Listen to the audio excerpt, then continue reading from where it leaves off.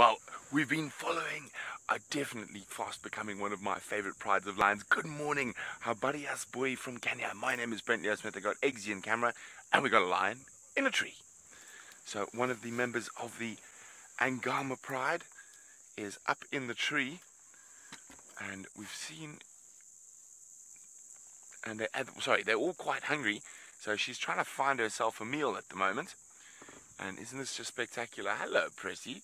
Now she is gorgeous and uh, the rest of the four females are disappearing just to the to the southeast of us. You can just see their backs. And oh wait, sorry, eggs. She's going down. She's going down. That was my fault. Here we go. Here she comes down.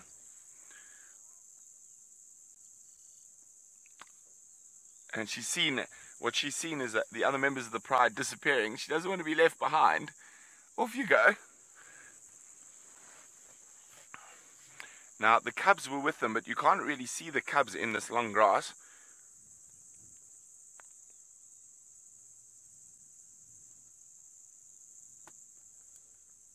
Isn't that spectacular?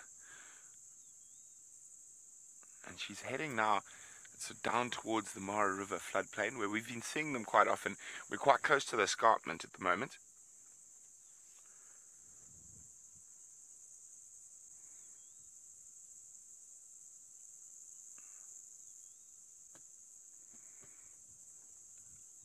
are quite hungry.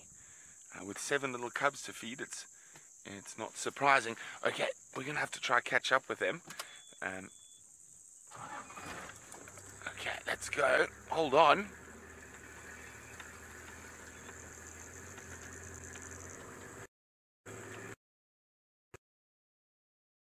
So I'm going to try get back to a little road that runs down towards the main road where the lions are heading towards. Whoa! See, you gotta be careful. There's some big holes about here.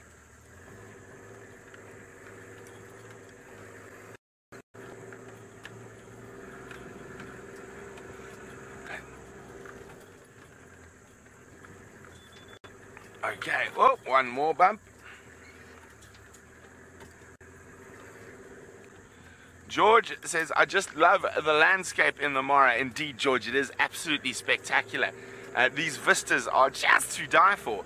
But I am hoping our lovely Angama Pride are going to be on the hunt this morning. And don't worry, I haven't forgotten about that baby buffalo down there later to check. But literally, as we came down the mountain, we were straight into lions. So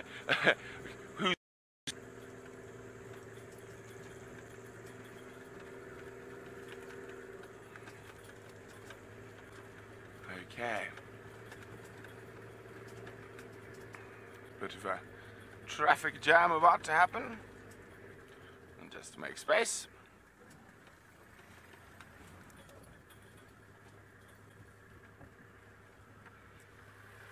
Buddy. Mm. Whoa, whoa, whoa, don't reverse. I thought he was going to reverse it to us for a second. VR Viking are wondering what are those trees? Well, the tree that we saw the lion in now is a shepherd's tree, um, and they are the lions seem to be their favorite climbing tree. Sorry, I'm just trying to. Can you see them, eggs? They crossed the road already. Hold on, guys, hold on. We're getting there. Now, we're up along the escarpment here, and this is one of the areas we can off-road. But if they do cross the cross the the, the main road, uh, there's a lot of seeps and swamps there and we're not going to be able to follow them but we will do our best. There's just so much water here and the water just seeps through the ground.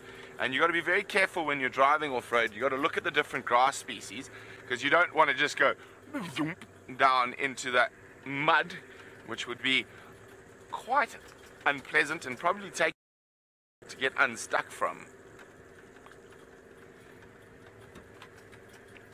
can.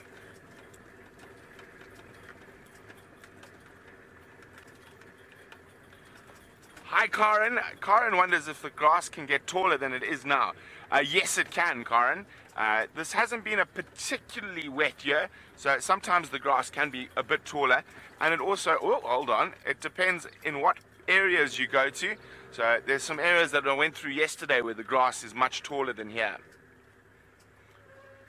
Okay, we got to go through some mud now.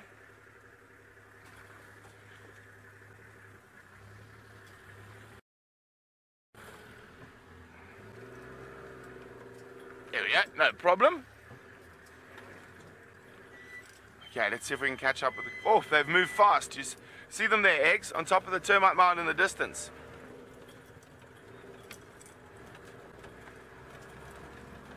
So they have crossed the road already.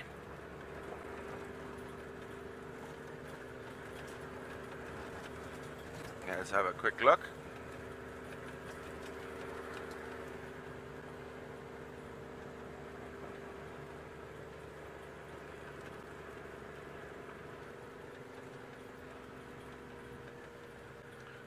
Morning, Michael. Um, let me just get Xander in the right spot. You happy? Now, Michael. Oh, she's on the move again. Michael's wondering. Oh, she's heading straight towards an elephant. Um, what's the difference between the lions of the Mara and the lions of the Sabi Sands?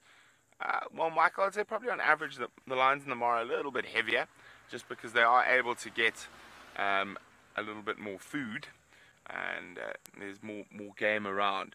Now, also I was, oh, they've both gone down now. You've got one. Well done, eggs.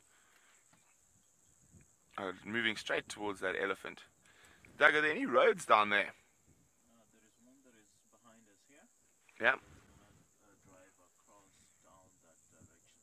Okay. So there might be a road heading in that direction. Look, there we go. Line past elephant. Isn't that cool? Quite a few elephants in this area. The elephant bulls seem to like this area. There's some big seeps. Sure, but these girls are walking fast. Here we go. You got the one on top of Termite Mound?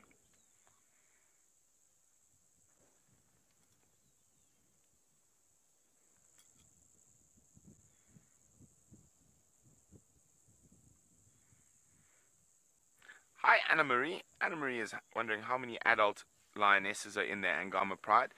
Marie, in this sort of, it's, it's split into two groups.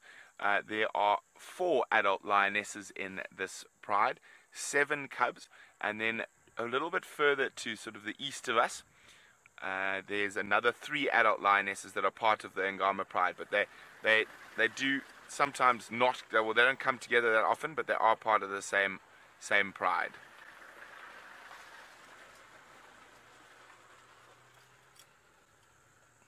See now they're looking down towards the plains, hoping for some warthog, which seems to be the Angama Pride's favorite food, while the wildebeest are not here.